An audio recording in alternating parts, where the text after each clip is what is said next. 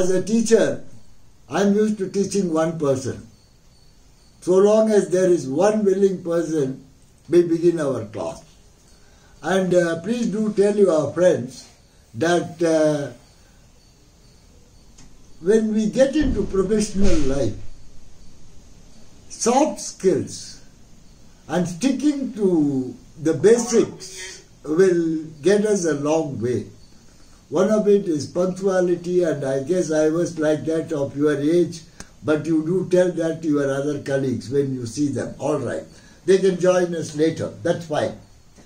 Now, in the last class, I was trying to talk to you about the changes that has taken place across the world. WTO, TRIPS agreement, trade in services. Trade in services means, uh, services means IP comes into the play. Article 27 of the WTO TRIPS agreement international minimum standard in the protection of industrial property. It is in this context we have to assess what skills are expected of us as IPR professional. This is the main focus of the discussion and I will also look at, you know, how does it affect the academics also. Now, I want you to understand that um, till 1995, Indian IPR profession was highly monopolized. 1995 is a real, what do you call, turning point. Okay? That is when we become members of the WTO and Narasimha Rao government, uh, Vajpayee government and uh, a lot of what you call globalization, a tilt that takes place. At that point of time, if you had been an IPR lawyer like me, you know, I was, you know, um, I actually, I was an IPR lawyer, all right. I began as an IPR lawyer, worked with IPR law firms, I've been there, done that, given lectures, participated in litigations, in all the forums, and therefore I think, you know, uh, I can have something to talk to you about this actually, which I guess will make your learning process lots easier. All right, what is the general scenario of an IPR professional? Suppose you become uh, a postgraduate in LLM IPR. What next? If you are not into teaching, if you have to get into teaching, you have to pass the UGC NET examination. If you are not going to get into teaching, all right. You join either a corporate office or a law firm, isn't it? I have my suggestion to all of you will be, even if you want to specialize in IPR, be a trial lawyer, okay, a litigation lawyer, at least for one year, before really choosing your specialization because you all must uh, have a feel of how the system works okay? Uh, you can't the system is not going to adjust for you. However smart competent uh, we think we are okay? That is something unless we conform to the system in a, a broad sense okay we are not going to really make a headway there now having said that the options are very, very limited. You either become a, join a law firm or join a multinational company. In both the places, you don't really acquire the skills of a small and medium entrepreneur interface. That is a topic that Professor Amir Khan had given me and I want to stick to it. Now the topic is very thoughtful, I appreciate it. See, in my last lecture I mentioned you that in 1980 the economies of India and China were more or less very similar. By 1995 they were about three or four times ahead. By 2027 or 10 times ahead in terms of sheer economic power actually. Now because of this, what has uh, this growth of China, how did it take place? small and medium entrepreneurs. You know, China became the manufacturing hub of the world actually. Okay. Now, so small and medium entrepreneurs have a very important role to play. The company that you talk today, Infosys, okay, you heard about it? Narayan Murthy, okay, garage startup. Then Kiran Mazumdar-Shaw, have you heard of her? Who is she? Who is she? Speak loud, lady. Kiran Mazumdar-Shaw, haven't you heard of her?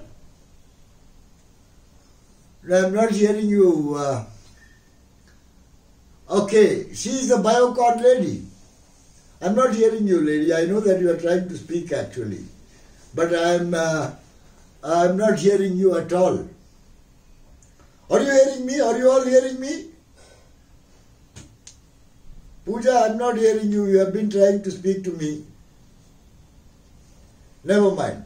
Uh, let me go ahead. I, this interactive business in this uh, video classes with the various factors we have, I know are difficult actually. Now the point I'm trying to tell you is, whether it is uh, Redilab, Sun Pharma, uh, Bharat Biotech, uh, Biocon, Infosys, a lot of other, Byju, right? Have you heard, haven't you heard of Byju? Zomato, right? All these are, they begin as small and medium entrepreneurs, okay? And thereafter they try to scale it up to the national level. Uh, in a company like Uber, something that touches the life of many of you when you go to, when you live in a city, okay, a car aggregator. This is a business model evolved by an young entrepreneur, small and medium entrepreneur which gets scaled up by a company like Reliance. Okay, so in all these uh, areas, you know what we see as uh, uh, bull-weather unicorns today, the big companies like Microsoft, IBM, Google, okay, all these companies, Pfizer, all these that you see, these uh, bull-weather unicorns, all began as startup. Maybe Coca-Cola, okay, 150 year old company.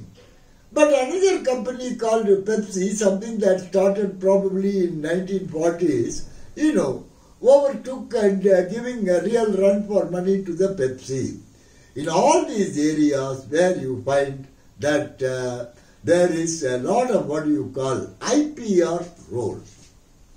All right uh, you are you have to pick up some skills to advise small and medium entrepreneurs. Okay, uh, somebody uh, who is starting a travel agent and coming up with a new software that will combine him air ticket booking, sightseeing, ticket buying, everything, all comprehensive online assistance. Okay, he is wanting to put it up.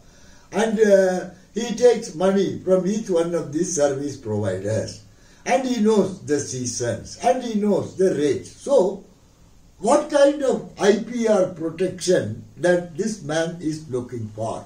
Or there is one person who is working on plant-based product. Okay, uh, he is able to make good quality oil. Okay, I, I don't know what oil all of you use and uh, how careful you are about the oil that you are using.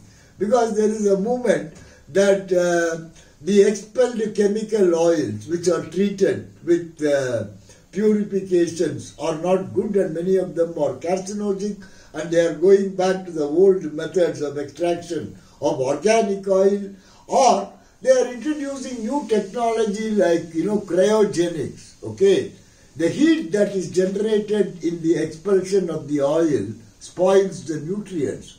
So therefore he is introducing a new whatever uh, you, you, you, you, you know that uh, people permit jaggery instead of sugar if you are a diabetic actually. So you have sudden revival of different forms of jaggery. In that jaggery there is a value added jaggery, something that has got ginger, something that has got pudina. Okay, so like see what I am trying to tell you is these kind of inventions originate only with small and medium entrepreneurs. Okay. Or he is coming up with a method of an organic farming. Okay. In one or two acre, giving him an assured income of about one lakh a month from each acre. Something unbelievable. Not many farmers make something like 10,000 rupee or 15,000 rupee per acre after having worked there. For, uh, so, the topic which I am discussing is it is the small and medium entrepreneurs that uh, generate a lot of invention and these inventions may be scalable also. For example, pasteurization of milk. I want to ask you girls, I mean, do you buy your milk in uh, bottles or plastic sachets or a milkman comes and delivers it to you? Which one of the three? Which one of the plastic packets, right? All right. Okay. Uh, in many parts of India, still uh, there is a common point where people go and buy milk, or the milk is delivered. Two type of milk is delivered: pasteurized milk, non-pasteurized milk. Okay. Uh, pasteurization is good, and uh, there are. So the point is, if I am a cattle owner which uh, uh, which uh, produces only about 5 or 10 liters of milk or 20 liters of milk a day. I need a pasteurizing machine which will pasteurize just 5 or 10 liters, 15 liters, 20 liters. But the plants we have today are 5000 liters, 3000 liters. So miniaturizing technology. So what I'm trying to tell you, if somebody is using that, what is pasteurization? As the process, you have to boil the milk to about 150 degrees Celsius and then suddenly cool it. So you need an equipment which will heat the milk and simultaneously cool the milk. You will have a cooler, you will have a heater and you will put it in a container and you give it in a box where the farmer is able to pasteurize the milk that he produces for the consumption of his own family because tuberculosis, primary complex, a lot of diseases uh, children pick up when they drink unpasteurized milk. So these kind of technology, when he comes up with that, number one, is entitled for a patent. This is how he comes to you as a professional. See, I have invented a miniature pasteurizing, milk pasteurizing unit, which you can plug it in your three-phase socket and then go do your work. After about one hour uh, of loading, I get about 10 liters of pasteurized milk. And thereafter, there can be a lot of value adding that can be done. To milk use, I told you, India is one of the biggest producer of milk. Uh, and uh, still, our milk consumption per capita is lower. And so, I'm, what I'm trying to tell you is an invention, a rural invention, which will have a bearing on uh, the development. For example, uh, Amul Kurien is hailed as a hero, Padma Bhushan, Bharata Ratna, everything deserves because he brought a lot of prosperity to the rural women. And uh, prosperity that he brought to the rural women uh, improved uh, the overall quality of life in Gujarat. So when you talk about Gujarat today, you know that this big uh, industrial consumerist model is not possible except for the overall prosperity that Mr. Uh, Kurien had brought actually. All right. Uh, now I don't uh, see you. Uh, is there, are you hearing me? Or is there a technical problem? Mohammed Khan, Himanshi, Yeah, I think there is some issue. Huh? Seems to be an issue. Is our net has gone or what? Uh,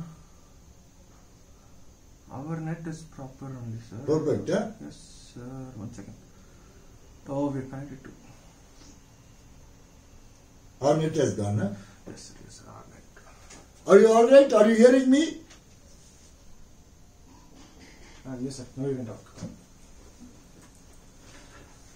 Are you hearing me? Yes, sir. Abba, were you hearing me at all in the first place? No. When I was speaking earlier. Sir, we lost one or two minutes. That's all. That's all, Earlier okay. we were Ah. able to follow you. All right, all right. Let me, uh, all right.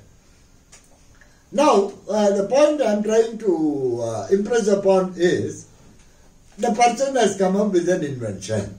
He is seeking your consultant as an IPR professional. What should you do? See, please remember in all IPR, the most important skill is documentation. And please remember, IPR is all about specification. Documentation is important. Specification is important.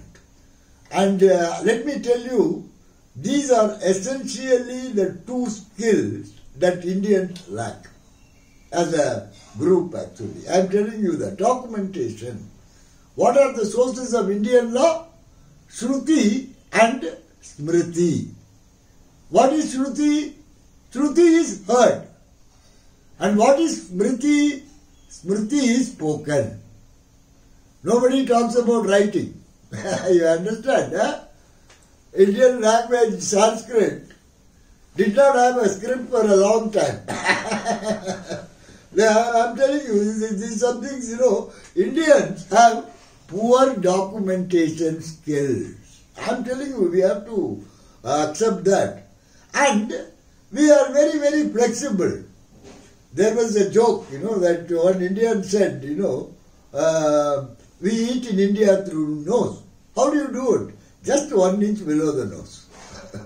You understand what I'm saying? So, this is not uh, specification, okay? eh?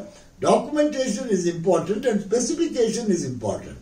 Now, how do you write a patent specification? This is the starting point of a skill. You don't have to write it, but you must know how to scrutinize it. At least, uh, unless you know how it is written, you may not know how to scrutinize it actually.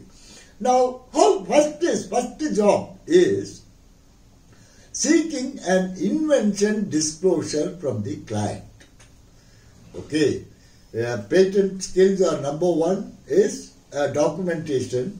Number two, specification. Your specification is going to depend upon the invention disclosure document. Now, this is where you as a lawyer can play a role. See, you are not a scientist or technologist, okay? You are simply working in a company which is involved in science or technology. So, firstly you have to recognize that patent law is about 80 to 90 percent science and technology and just 10 percent law. So you are not a prima donna there. You understand what I am saying? eh? You are going to play only a secondary and a supplementary role to the main business of development of technology and the developed technology has to be commercialized. For the technology to be commercialized, you as a lawyer has got a minor supplementary role to play there. So we recognize that we are not prima donna there. And we cannot uh, uh, substitute technical writing. Okay? So what we should do? We should ask for an invention disclosure. What are the parts of an invention disclosure? Number one, an invention disclosure should not be more than about five to seven pages. Okay? It must be short enough. So if I am going to give you a 10 page article to read, most of you will not read. If I tell you to read one or two pages, you will read. Because I understand, you know, there are a lot of uh, issues actually that demands our time. So what I am going to say, I am going to say in about three to five thousand words. This is the starting point in the documentation skills that I was talking about. So what you should do, number one, an invention disclosure should have following part. First part is area of the invention. Okay. area of invention. This is a telecommunication technology. This is a pharmaceutical technology. In pharmaceutical, this is a vaccine technology. In pharmaceutical, this is a nutritional supplement technology, whatever, okay. What is the area of invention? Uh, please remember, I don't know how many of you have read the specification. It's quite possible that most of you would not have read. Uh, reading a patent specification is not like reading a John Grisham novel. Okay? A John Grisham novel is interesting. I very strongly recommend that you read John Grisham. Actually, you can learn lots of law from John Grisham. But it is not going to be as interesting as reading a John Grisham actually because this is work, okay? Specific work. So, first part of your area of invention is uh, area of first part of the invention disclosure is area of invention. The second part is status of the prior art. See this word prior art you will hear in patent law again, again, again and again. Because a patent is for an improvement over prior art. So for you to exactly determine the scope or the area of your monopoly, you should know the status of the prior art. Prior art means the body of knowledge available to humanity on the area of invention. Okay. How much uh, is there? All right. Uh, how much of knowledge is there?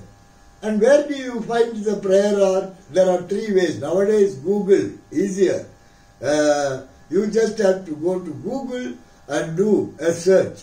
There are three types of searches. One is prior claiming. Whether the technology that your client says he has invented has already been claimed by any of the existing patent, granted patent, pending application. Then prior publication. Sometimes universities publish information and that information can become the starting point of the technology of the inventor. In that case, by prior publication, that invention is anticipated. Third is prior public use. If the product uh, that your client is giving employs a technology which is already used in the market, it may not come in the category of a prior patented product or a prior published product. But it, there has been a prior public use. If there is a prior public use, then there will not be a patent. You know that a patent is granted for complying with the four requirement novelty, utility, non-obviousness and statutory subject matter. For determining novelty, you have to discuss about the prior art. Okay? When you are talking about writing an invention disclosure, starting point is area of the invention. The second is status of the prior art. Then the third part of the invention disclosure is problems with the prior art. If the prior art is enough and sufficient, there is no need for your invention, isn't it? Actually, every patent is for an improvement over the pre-existing technology. Okay? So, uh, uh, if you are looking at one product, for example, I remember I saw mobile phones in 1980. One mobile phone will be this big actually. You understand? It used to come up with a, uh, what do you call, strong wire and it would carry about one, one and a half. And for you to speak, you know, it would cost you something like 15 rupees per minute or whatever. It was a big status symbol. Only big guys had it. Nowadays, you are having a mobile phone, a smart Android phone, for I think 3000 rupees. Jio is going to give it. So what happens? After the introduction of the mobile phone technology, there has been a lot of further incremental innovation. Mobile phone, camera, radio, MP3 player, calculator, word processor, uh, health monitor. You know, you have the Android phone which enable you to monitor how many steps you have walked, how much you have traveled in car, how many floors you have climbed, all that, you know. Uh, people are counting calories. So, same phone that you are having is performing a lot of functions. So, what I'm trying to tell you is, uh, you are going, third part of your invention disclosure is problems with the prior art. Okay, what are the, there are, you have got a product and there is very useful and uh, the usefulness of this product can be further improved by doing the following. So, please remember, a patent is for uh, improving the commerciability and saleability of a product. Earlier you had to have one radio, one phone, one calculator, one video player, all houses had all that. Now you don't even go to a TV. You have a phone and you have a data pack, whether you want to watch YouTube, Google or listen to classes, right? Yeah? So this is what we call in information technology a convergence. Okay. Now, for me to become a broadcaster today, all what I have to have is a smartphone. I can make a, a video of my smartphone and I can supplement the audio after having taken the video and thereafter give it to professional editors and thereafter hire a music technician to give the background music. So, if I have a, what do you call, smartphone, I become a public broadcaster. So, the point I am trying to impress upon here is, in the patent specification, you add what are the problems with the prior art and which of the problems you propose to solve. This is the third part of the invention disclosure. Then, how do you solve the problem? This is the fourth part of the invention disclosure. The problem solving can happen by a device. The problem solving can happen by a method. The problem solving can happen by a process. The pro- easy, there can be many methods of solving a problem. Then you tell how, how what do you object of the invention. You are talking about the area of invention, problems with the status of the prior art, problems with the prior art, which of the problems you propose to solve, and how you exactly solve the problem, and thereafter you in always in patent law we always say that uh, if possible incorporate drawings as possible. Because patent law is all about specification and we always say one page of drawing is enough is equivalent to about four or five pages of disclosure. Okay? Uh, so we always refer to drawings okay? And patent office tells you how to submit drawings. And thereafter you have what is called as a claim.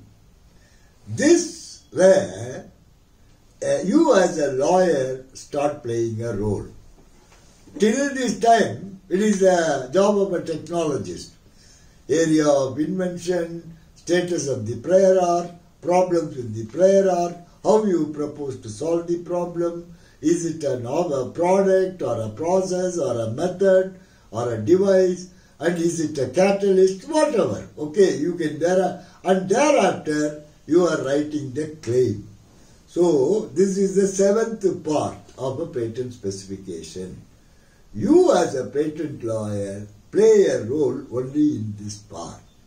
So unless you are able to draw the right information from the innovator, you will not be in a position to uh, have the necessary skills to advise a young innovator. All right. Then, let me tell you, uh, patenting in India today is like cricket in India during 1960. Okay. Uh, today, uh, Indian cricket team is one among the very best in the world. Okay, we are good in all the three formats, even though we have lost the 2020 match.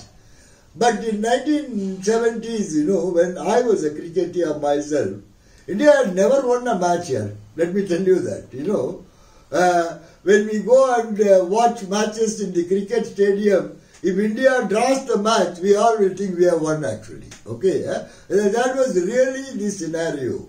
And Indians have never recorded a win outside their country. You know, the first country whom we defeated in a test match is New Zealand. They are playing a match against us today actually. All right. And uh, West Indies means they will always beat us by an innings and uh, 200 runs. That's how they will beat us actually. And uh, uh, our batsmen, you know, they were not having those uh, fanciful guards and all that. They'll get beaten by West Indian bowlers, bouncers, left, right, and centre, uh, compelling people to, you know, evolve uh, head guards. And they are all inventions in cricket. Elbow guards, okay? Uh, uh, uh, anyway, the point I'm trying to tell you here is patenting game in India, we are not really convenient. You understand? We still don't have the trained human resources in the country. I'll give you an illustration. You all will have a good career option in IPR if you develop a scientific bent of mind. Okay? I, I know that I am a lawyer. I wanted to be a scientist. I scored very badly during my graduation. I did not get an MSc seat. I became a lawyer. After I became a lawyer, I thought I'll stay in touch with technology and I became a patent lawyer. That's actually the reality of life actually, but I'm not regretting it. So, it is not that for you to be a patent lawyer, you must be a great scientist or anything like that. Not at all. Okay? You, you are trying to really compile information from different sources.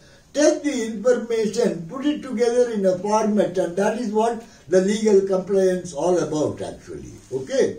Now, let me tell you, uh, you must uh, make your uh, presentations readable and watchable. This is very, very important actually.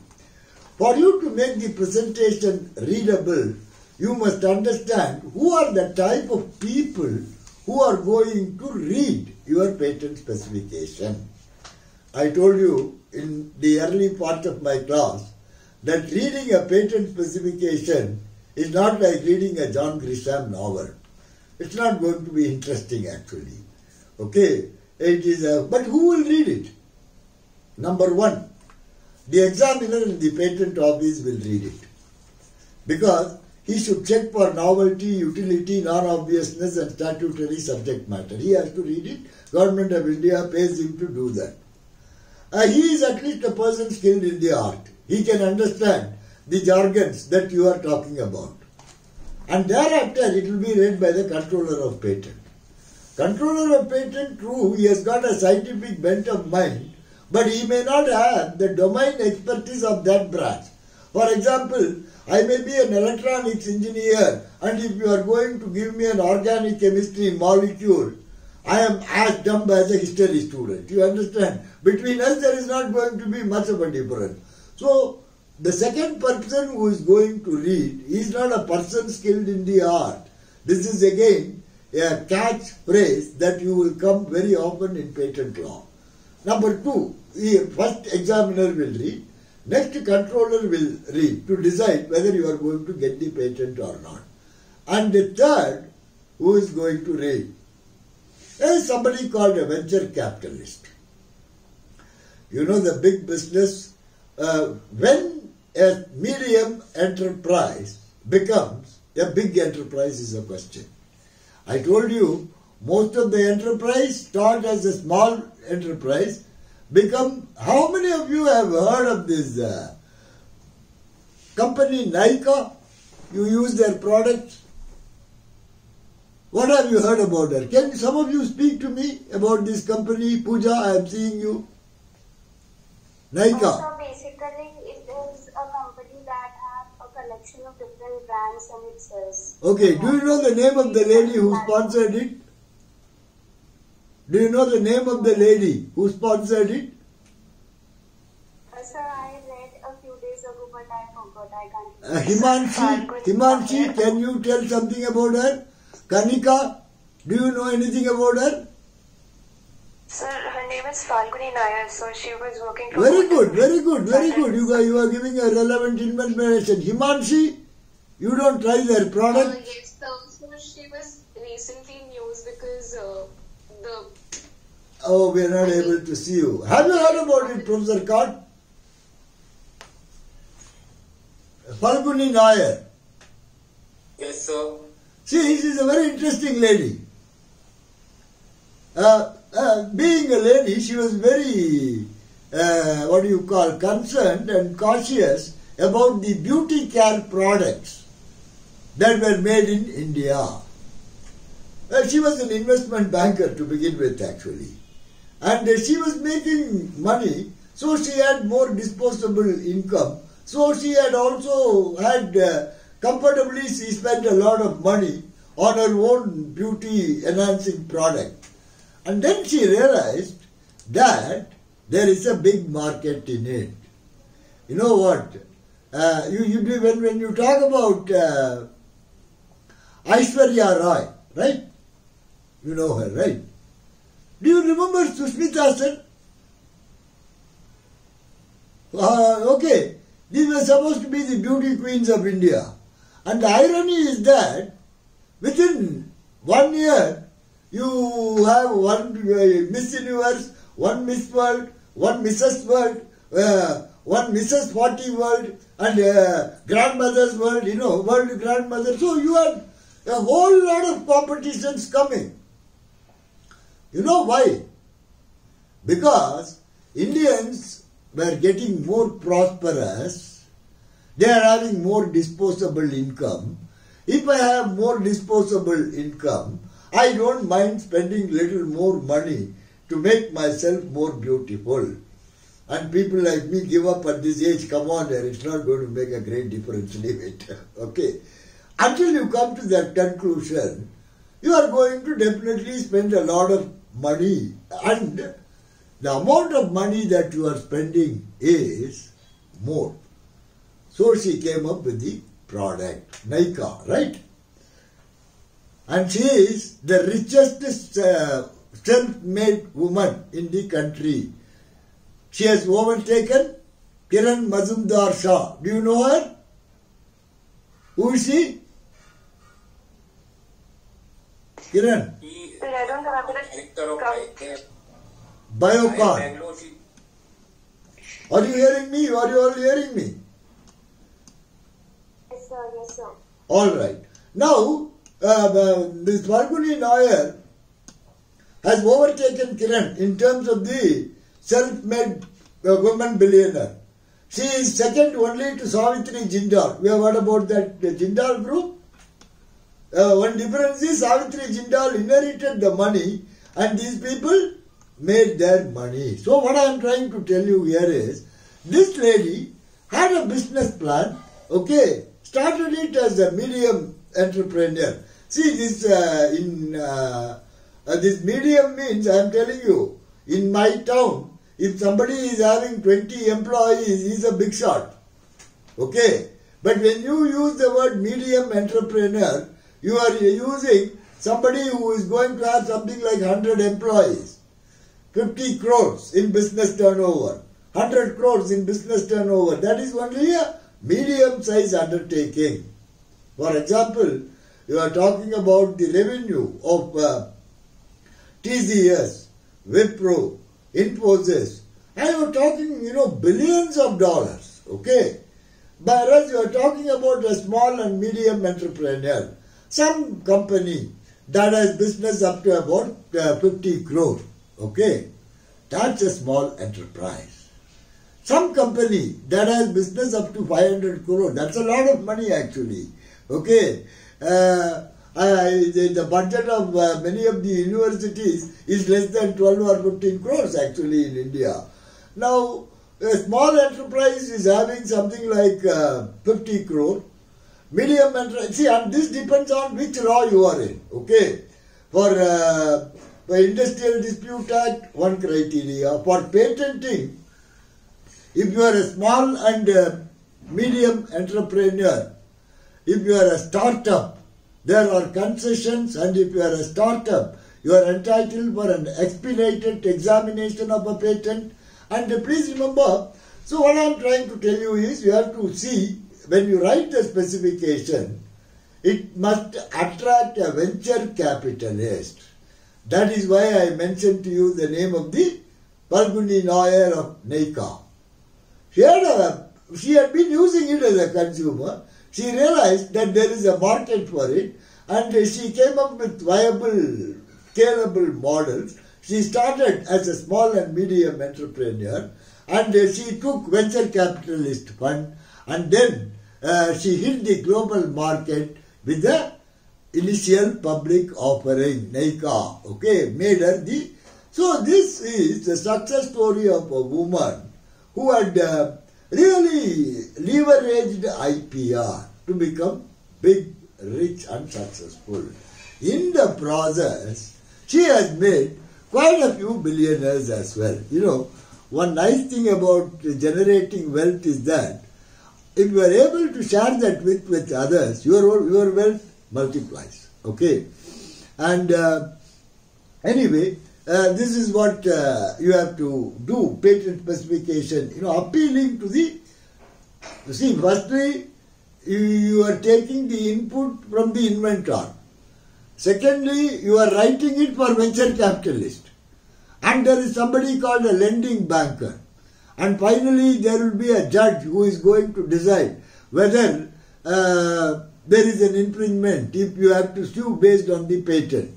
So, a patent document is a multidisciplinary document. That is the most important skill I want you to pick up during this lecture. Uh, there must be something for the technologist, there must be something for the lawyer, there must be something for the venture capitalist, and there must be something for the lending banker, and that must be easily comprehensible to the jury and common man. How you are different from others, whether the other fellow has copied you. Alright, this is about the patent skills, okay? And uh, patent prosecution is a subject by itself and many times this is given to the law department. Okay? And many companies uh, foreign companies like uh, uh, pfizer novartis eli lilly they will hire indian companies like infosys tcs mahitech mahindra for them to follow up the patent prosecution work. And there is a lot of employment opportunities for lawyers who can demonstrate a scientific and technical bent of mind in this area. Alright, this is about the patenting skill. And there is one more where you are asked to play a crucial role is licensing. See, this is a big deal. If what Google does, hey, Google doesn't do anything here. Huh? They simply collect the information they make a software and they tell the people what to make and they give the specification and they help them to and now uh, most of the business you do through Google, right? Huh? And uh, Google knows which part of the house where you are. Okay? Whether you are in the kitchen, huh? or you are in your study room, or you are in the office. How did you move from office to your study room? Did you walk? Did you cycle? Did you ride? Because you are carrying your mobile phone, you know. Your pin is there, right? So, the point I am trying to tell you here today, we are in a technologically wired world. Okay? So what you should do, what does Google do? Google has evolved a lot of software, right? They don't, uh, IBM at least makes computers. Apple make phones, okay? Boeing makes aeroplane. General Motors make car. And uh, most of these people sell their product, right? What does Google sell here? In fact, Google tried to sell a phone. I don't know if uh, you are aware of the Google phone. It was one of the top uh, introduction and the product failed. Like Microsoft, you know, they tried to introduce into the telephone market. They came up with the Iridium phone. That also failed. Now, what did they do? I think Android is a Google product, if I am not mistaken. Okay? So they know that they cannot control the, very soon the Chinese companies became the best, uh, most efficient manufacturer of mobile phone. In yesterday's class, I told you about the competitive cost advantage, right? Hmm? And now, what does Google do? Google simply, and one more thing, you can buy a car, but you don't buy Microsoft Window. What do you do? You license it. And when you license it, you don't play favorites. Okay? Uh, it is what you call as uh, standard uniform licensing practices. Where uniform, non-discriminatory, there may be price differential. But in terms of the services, you know, it is not like you are an important person, therefore I'll treat you better. The other person is not so important, so let him wait. You know, I'm not going to give him the best deal. See, please remember, this is a normal thing. For example, you go to a vegetable vendor. To everybody, they will say 25 rupee. You may be her friend or whatever reason, and she may give it to you for 20 rupee. Right, that's her wish. But in licensing, if you do it, it will be considered as an unfair licensing practices. So, after having got the patent, how to license it? Evolving uh, standard licensing practices in compliance with the global standards. This is the next thing. Okay. All right. Uh, that is about the patenting skill. Next is the trademark. See, you are an IPR lawyer.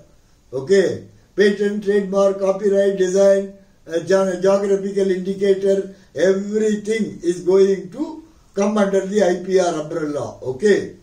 Now, the, we talked about the patent skills. And the next skill that we are now talking about is the trademark skill. Okay.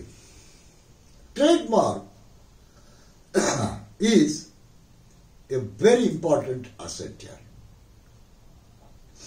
See, for example, if you uh, you know Saridon, what is Saridon?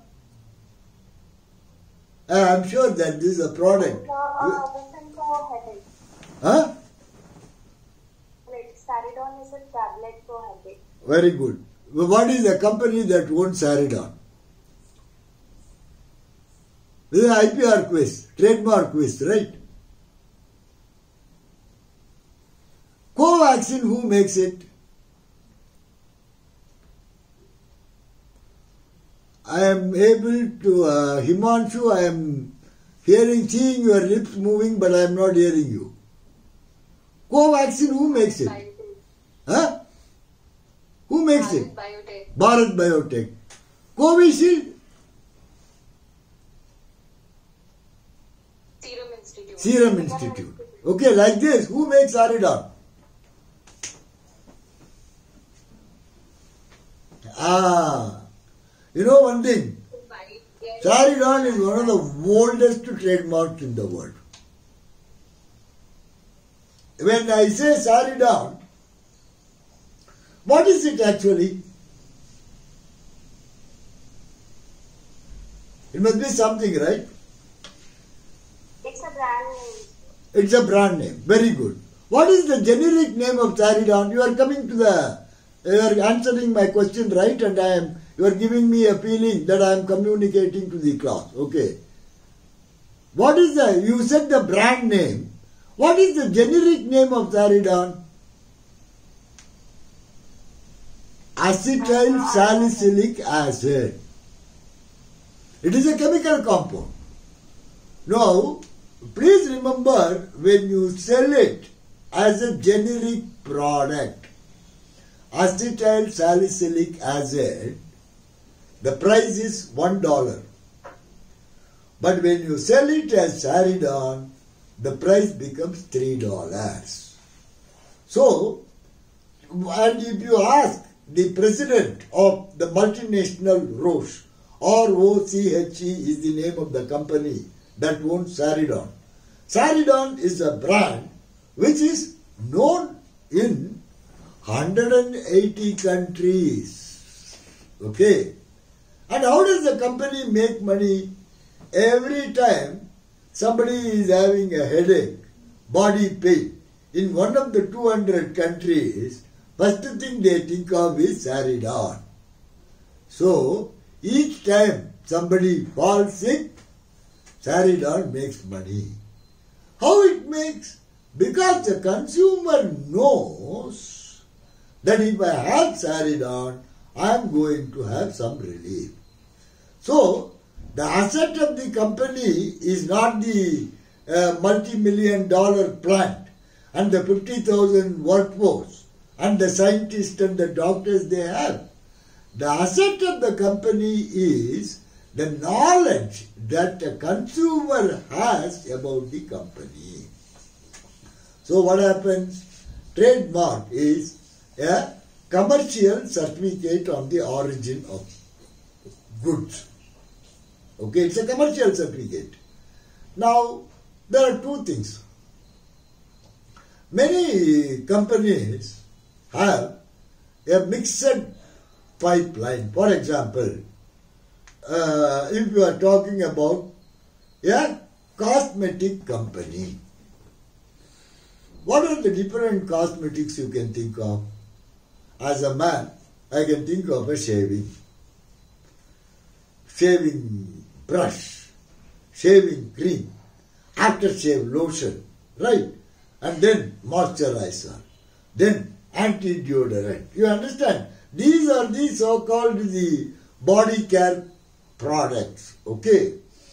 Now, when you are evolving all these things, the market never remains constant. Shampoo, hair growth oil, okay, huh? lustrous skin, uh, avoid whatever. There, there, you can you can add any number of you know. I'm sure that uh, many of you would be frequenting the Himalayan. You know, have you heard of that company Himalaya? Huh? I'm sure many of you patronize that company also. Huh? Uh, they have got all herbal products, right? And uh, so, I mean, earlier brand was this, there was a company called Vicco Laboratories. I don't know how many of you remember that. And uh, Balsara chemicals, and uh, please remember, this is a, Falguni is an uh, entrant it actually, okay? Now for all these people, trademark become very, very crucial. Okay? And uh, the law department has got a lot of role to play. For example, the name Big Bazaar. Have you heard of it? Who owns this brand? Who owns this brand? So now Future Group. Huh? So it started with Future Group, if I'm not wrong. Who again? Tell me again. So Future Group. Very good here. You are right, Kanika. You are right. It doesn't matter. Good. Okay. Is it a good trademark? I am asking you. Sir, it's a very generic name, has Big and Bazaar. Very good. I like your response. You know, I, I mean, I am communicating to a class. You are talking sense to me. The name Big Bazaar, the future group had chosen as their brand is a very poor choice from the perspective of a trademark lawyer. Because Bazaar is generic. Okay. Big is also generic. So, the words which are generic can never be a subject matter of a good trademark. For example, apple.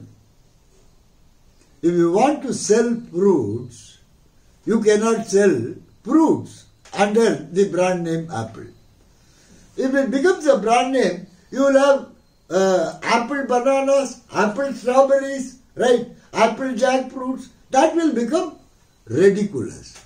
But if you are going to sell telephones under the brand name Apple, then it is arbitrary.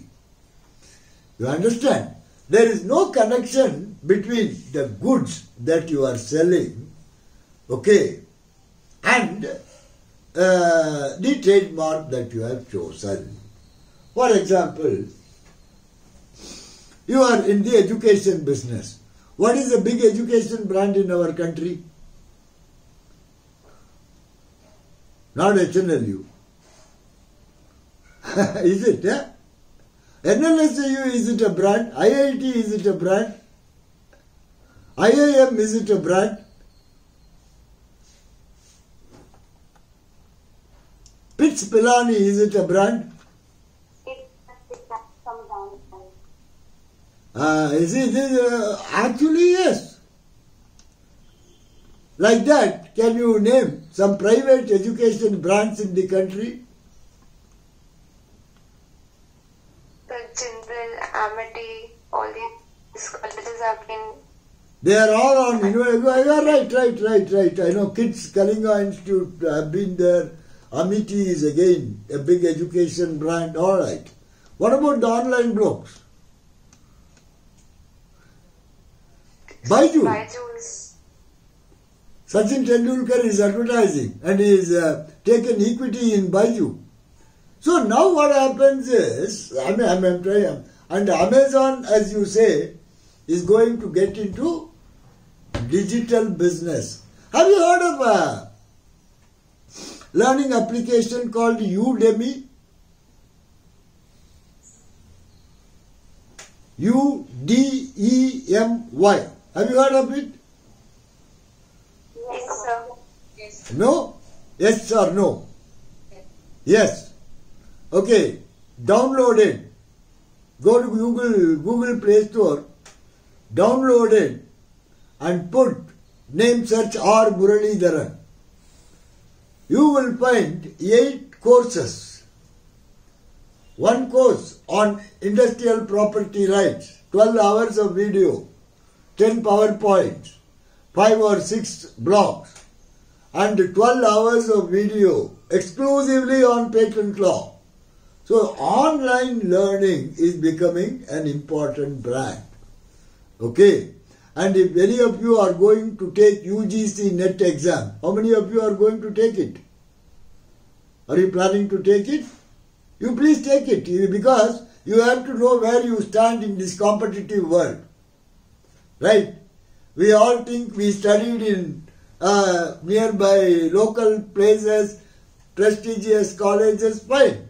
But when you go to get into the job market next year, we will know where exactly we stand here. So try to take as many competitive examinations as possible. And one more thing about this competitive examination is their examination pattern is totally different, right? Online, you know, by the time you finish the exam, you know the result, right? And this is not the exams we wrote in our colleges, did we? We didn't. So, this becomes, uh, what I am trying to tell you here is that learning today is becoming online learning.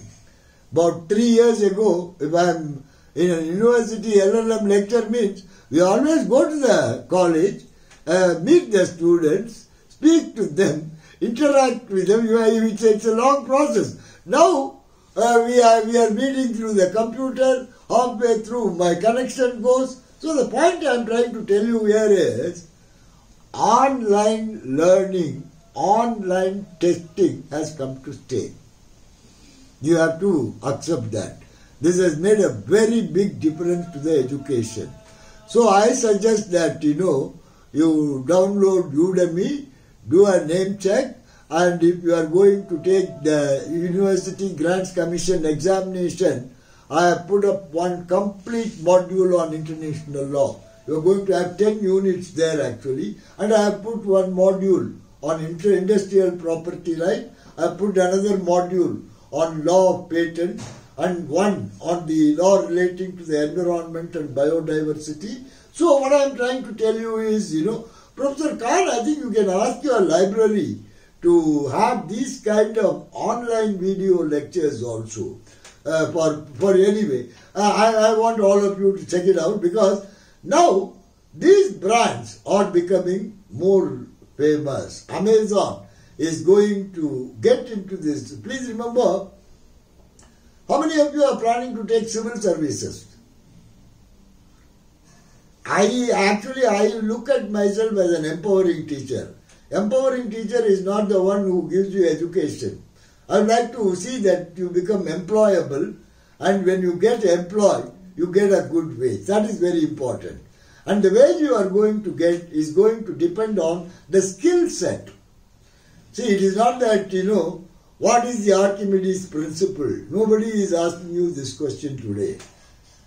They are asking, will ask you, by applying the Archimedes principle, how are you going to build a submarine? That is what is the uh, use of science actually. Convert anyway, the point is a trademark. Okay, I said because education is one of the important services business today, like uh, hospitality, like healthcare, like transportation, like banking, like insurance. Okay, and online education is becoming a very important uh, method. So what we are, all these things we are talking about, here it becomes brand driven. Okay.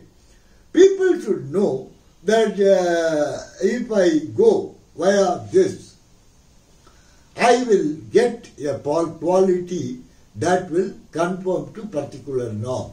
So, and what that is the best way is by having what you call as a trademark protection. And in trademark protection, what you can do is you have to make sure that uh, brand which is not generic, the brand which is not laudatory, the brand that does not offend the religious sensibilities of the people. For example, if I were to have a triple X rum under the brand name Lost Prophet, many will get annoyed.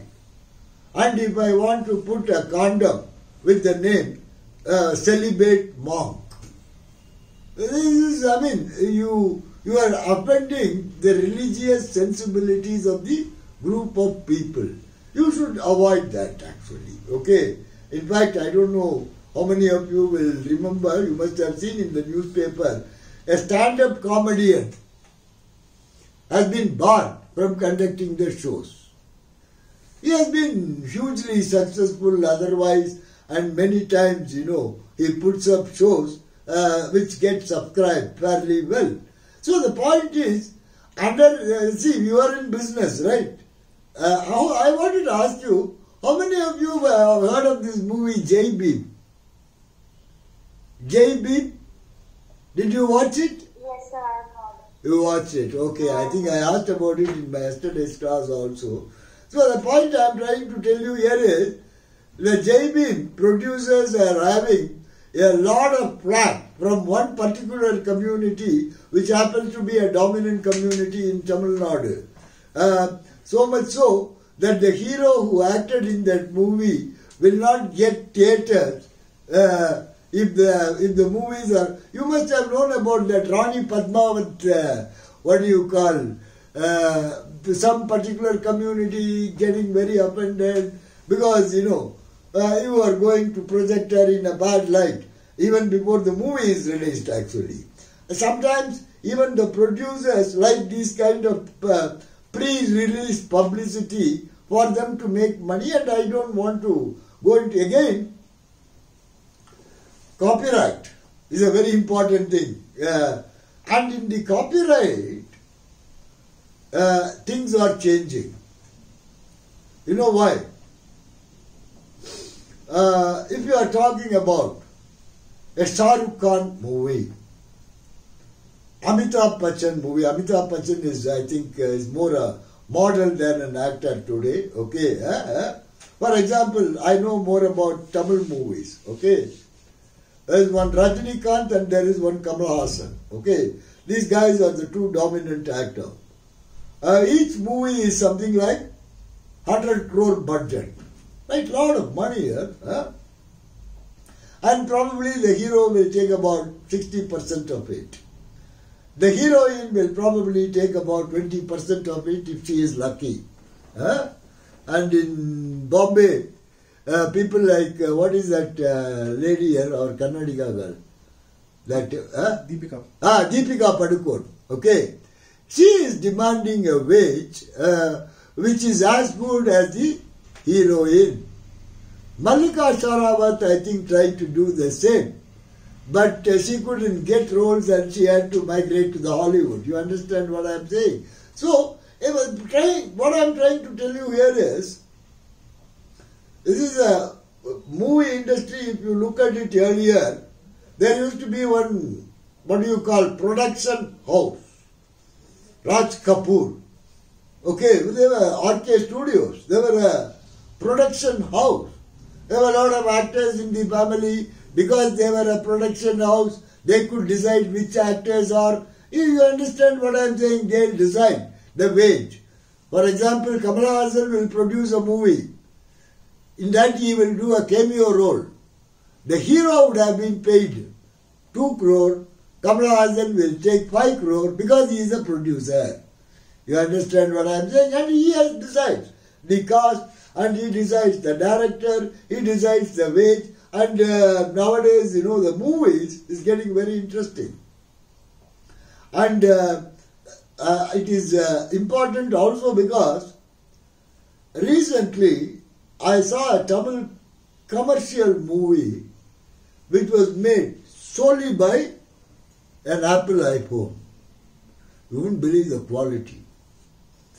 So if you have an Apple iPhone, uh, you can make a movie. In fact, the Apple iPro 13 advertises saying that this will enable you to make Hollywood quality movies and the sound system will match that of the Dolby. Right, Dolby. Okay, that is the famous sound system. So, you are having products which are bringing to the common man high quality product.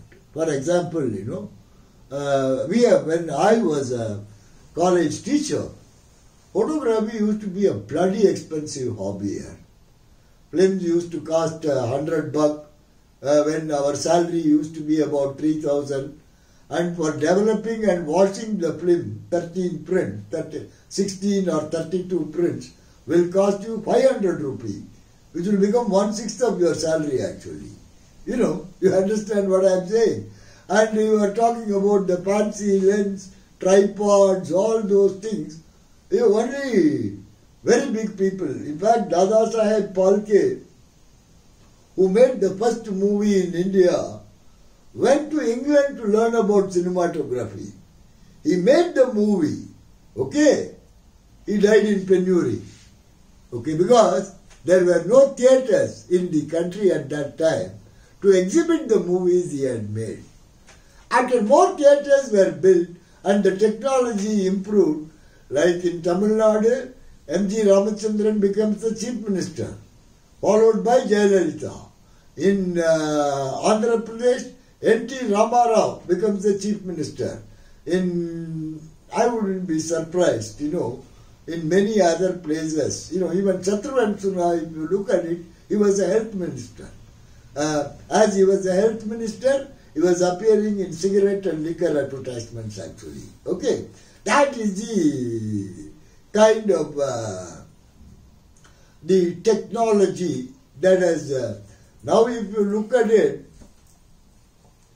uh, movie financing had become far more transparent. Okay, there have been a lot of low budget movies which are big success. Okay, so uh, the technology had substantially reduce the gap, okay, uh, of the difference between poor and rich. For example, why should good lecture be restricted to the students of IIT and the famous law school? Cannot all lectures be available? In Australia, uh, postgraduate education is done like that. You don't have to go to the university because the distances are so much. You may be working in your farm, which is about a 10 or 15 acre or a 20 acre, and you will be pursuing your post graduation. So they tell you the class, you sit in the class, and that's how they have been doing even before COVID. in the state of Darwin in Australia, where the population density is not so high, so you stay in your farm, attend a class, go to the university to write the examination and take a degree. Uh, all that is happening, and you know. So, one more thing that uh, we have to appreciate as a professional is trade secret. Okay. Now, what is this trade secret? Mm, this is a very interesting. When I say trade secret, what comes to your mind? Is there any real trade secret in the world? It's a Coca-Cola. Ah, good. Everybody will say it. But let me tell you, there's no big deal about Coca-Cola. Because, see, you know, if you call cola, it is generic. Right? Pepsi Cola. Huh? Uh, there was something called, uh, what cola? Arabic cola, there was one, uh, Mecca Cola. Huh? Uh, during that uh, uh, Iraqi occupation of all that, you know, uh, see, they thought that these American companies, and Coca-Cola sells best in Middle East actually. Coca-Cola, 7-Up, Fanta Orange, Mirinda, uh, Thums Up is purely an Indian brand. It is a Parle-led brand actually. Now, people, the biggest myth of the world is the formula of Coca-Cola is a secret. And the company says uh, it is known only to two people. Uh, the company only makes the concentrate and exports it to different places around the world and ask other people who are called as franchisees to bottle it with sugar, water and carbon dioxide. That is a business model of Coca-Cola. And Coca-Cola as a brand is as popular as Saridon. Okay. Which are available in about 180 countries actually. Now, they say that it is known only to two of our people and that is kept in this wallet and that wallet can only be opened by these two people and these two people don't stay in the same town, they don't go to the same hotel, they don't attend the same dinner. If both of them die at the same time, world will not have the Coca-Cola formula. My immediate response is no big loss. You understand what I'm saying? This is what you call a non-essential product. Okay? The, you know, I see uh, um, um, Indira Nooyi, you have heard about her? Indira Nooyi? Who is she? She was the ex-CEO of Coca-Cola. She resigned later. No, no, no. She was not in Coca-Cola. PepsiCo. Pepsi, ah. So what was she? She was the CEO. She was the CEO, correct. You know, she was a, a- a real Indian woman of substance. If I were to look for her, she didn't want to be seen as, uh, what do you call, first women CEO. She wanted to be seen as a an economist from the third world country. You understand? You know, you are. I mean, the point I am trying to tell you is, Pepsi Cola leveraged itself in the global market because uh, Indira Nooyi was able to project healthier drinking options. But ultimately, they were also selling this uh, uh, cola. But uh, if you are Tropicana brand, right? Uh, we all love that. I actually have been a great fan of Tropicana, okay?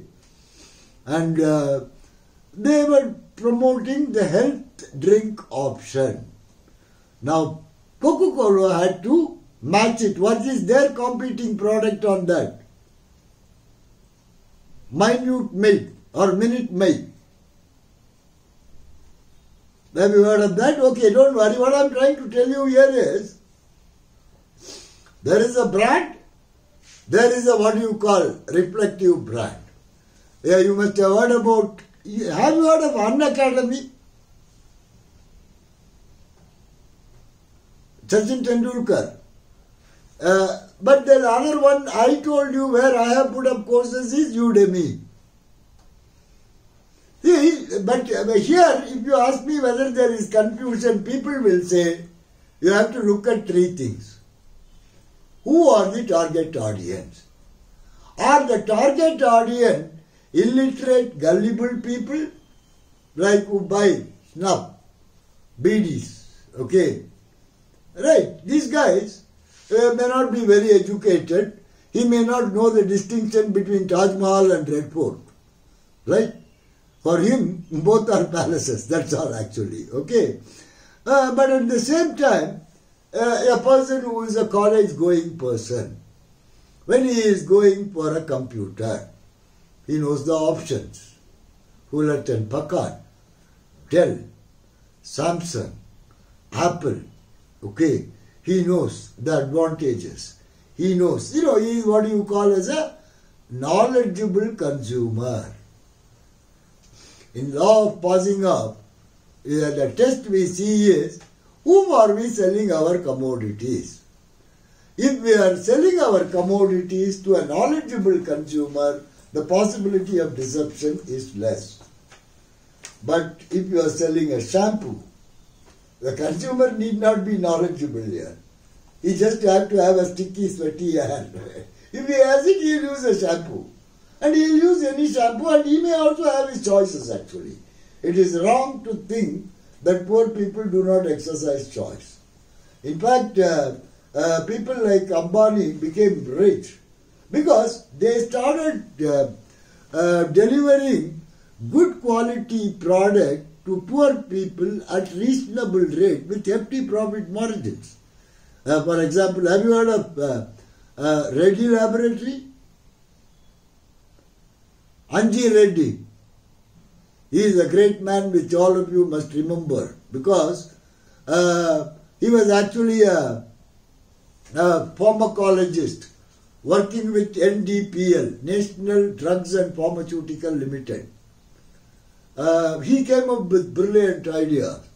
His boss called him and told him, look buddy, you become an entrepreneur.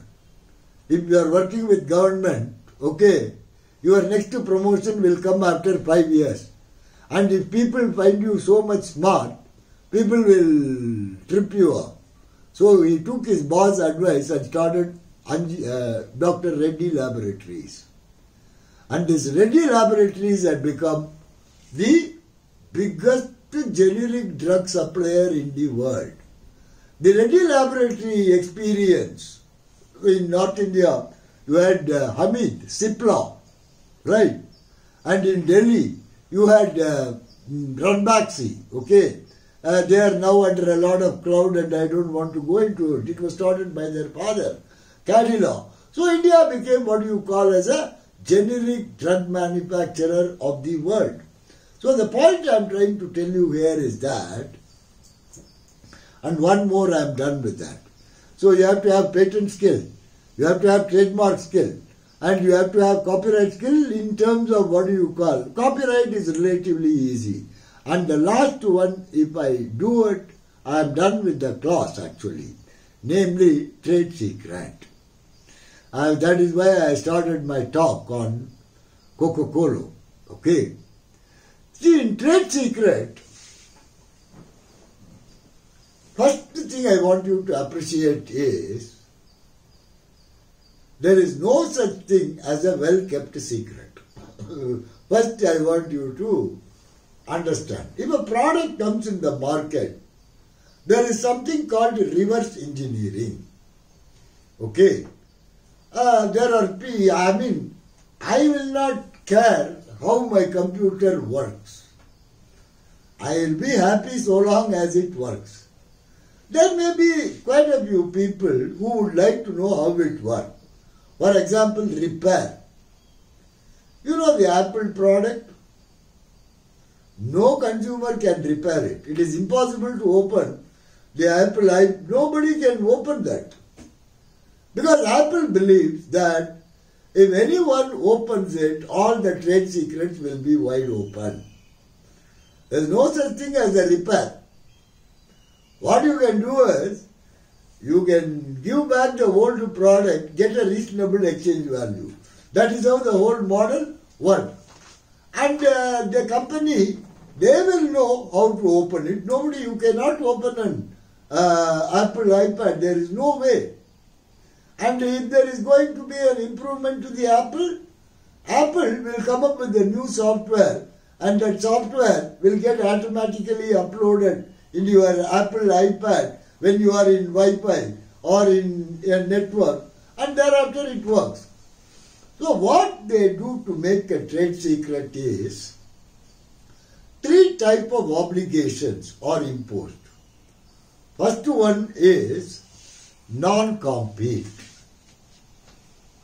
If you take an employment with Wipro, TCS, Accenture, you will be a software developer and your contract of employment will say, look here, uh, in the event of your leaving, you cannot take a job with Wipro, TCS, Accenture. Because during our period of employment, during your period of employment with us, we have disclosed a lot of trade secrets.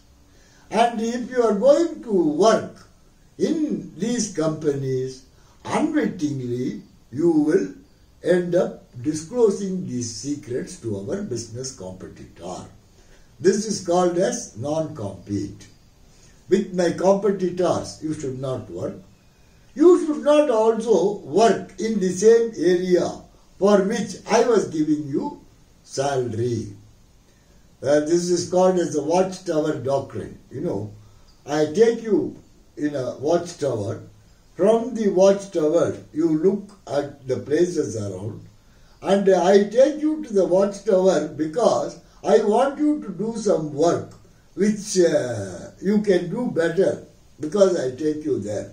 Now, when you get out, you cannot give up my employment and start doing it yourself. You know, this is a very famous ca- case called Springboard Doctrine. Just look at it and you know, Seager versus Copydex is the name of the case actually. So as per the Springboard Doctrine, but for you, uh, I wouldn't get the information. Now after having got the information, you are legitimate in putting upon me a non-compete with obligation, whether it is reasonable. Two, non-poaching. What is it? I told you the patent portfolio of Novartis will be managed by TCS here. They have outsourced it. Patent professionals are expensive in Europe and America. Uh, patent professionals are not so expensive in India. So, if Novartis is going to have 3000 patents around the world, the prosecution can be done in India. He will generate the work and uh, uh, he will handle all the office objections and tell the various people to respond to it. This is a patent prosecution work, is a big outsourcing work. Uh, technologists, lawyers, everybody is making a big killing actually. Okay, well paid professionals. Now, what happens? When they leave, I am working for Wipro. But the work I do will be for Novartis. Now, Wipro and Novartis will have an agreement that I am going to send some people to work for you. You shouldn't take that person away. This is called as non-poaching. On a case-by-case basis, exemption is given. You will, if you have a regular employment contract, you will have all that actually. The third one is non-disclosure. Okay, whatever it is here, this information you should not disclose to other. But please remember, do you know section 27 of the Indian Contract Act? We are coming to the end of the lecture. What is section 27 of the Indian Contract Act?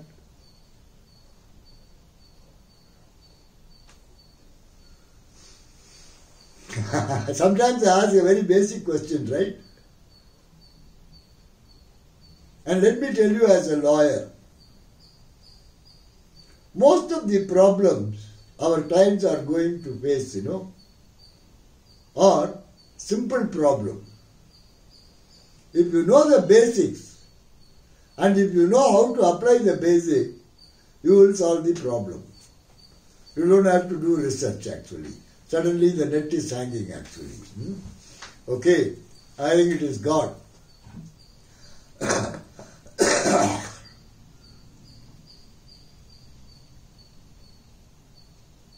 Working, right? Yes, sir. Huh? Yeah. It got actually, yeah. All right. Now I think I have got. You are hearing me? Are you people hearing me?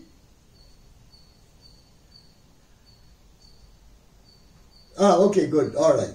I'm glad because I wasn't hearing you. All right. Never mind.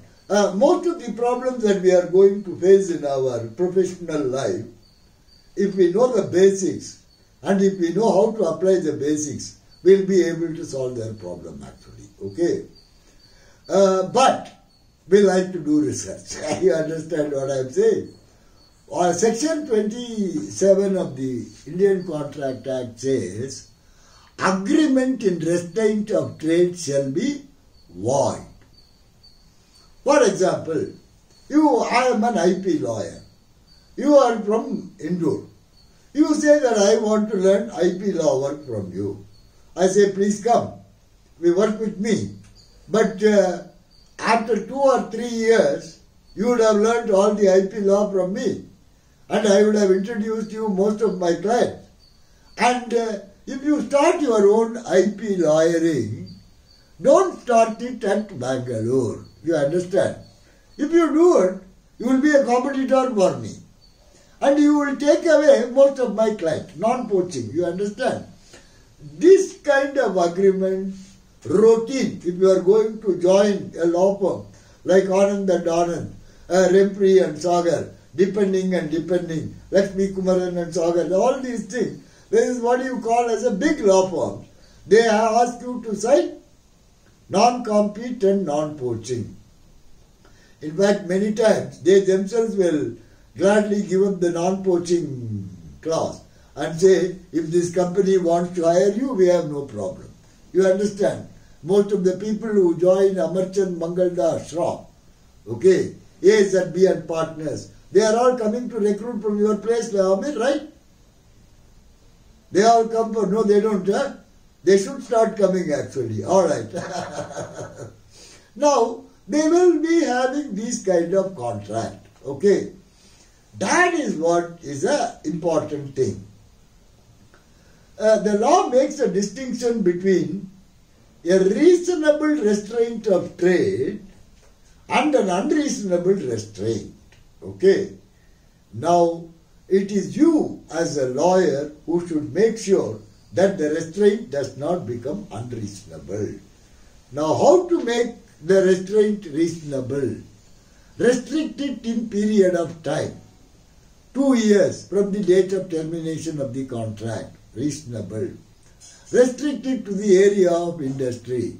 For example, I hire you as my patent paralegal. I say, don't practice patent law, but if you want to practice trademark law, copyright law, design law, by all means go ahead. Uh, restrict it to a specific area of industry. Third, geography. Start whatever you want here, patent, trademark, copyright, design. But only thing is, don't take my client and don't practice in Bangalore. This will be what you call as a reasonable restraint. And I think uh, that is all I have had to say. And uh, I told you. Did you read Winfield and Jolowicz Salmond about uh, wrongful imprisonment after the clause is over? No, huh? You should do your research actually. All right, ladies and gentlemen, uh, thanks, uh, Professor Amir, that you could give me an opportunity. And uh, I strongly recommend you girls to check up my Udemy profile. Okay. First lectures in Udemy are always free. You understand? You can make up your mind. Two, uh, they have a policy where you use it for a month, you can ask for a refund if you are not satisfied. Three, it is lifetime access and you can, you know, exchange it between yourself. And I'll be glad if you check my, my profile. I've got focused courses on IPR, patent, uh, private, uh, public international law, etc. Nice meeting you all and uh, thank you very much, Professor Amir Khan, for the kind invitation. Thank you, sir. Thank you. on behalf of HNLU family, I would like to thank you, sir, for providing an insight on uh, small enterprises and their relations. Also, on academic institutions. Sir, uh, it was a wonderful experience and a learning experience for all of us. And indeed, it was insightful, spirited and elegantly crafted account of public uh, interest with the emerging IP trends. And uh, I would like to thank you also, sir, for sharing us with the detailed narratives and sparing your valuable time with us. And uh, on behalf of the HNLU family, I would like to, I would